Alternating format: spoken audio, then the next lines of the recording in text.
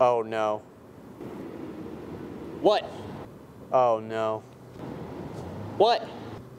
Oh no. Do what? I'm so screwed. My wife is gonna kill me. Why is she gonna kill you? I left the water running, and I, I'm, I'm just so dead. She's, my wife's gonna kill me.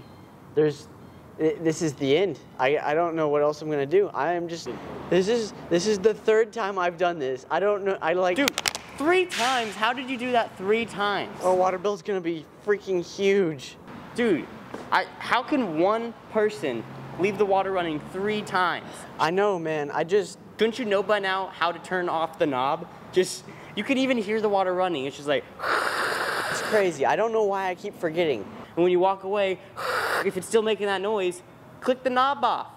But uh, it's just it's just something that I do all the time. I just can't remember stuff.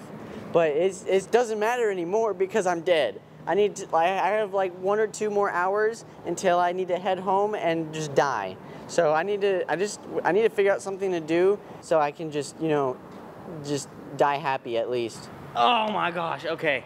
Whatever, just what is it that you want to do for the last two hours of your life? I know.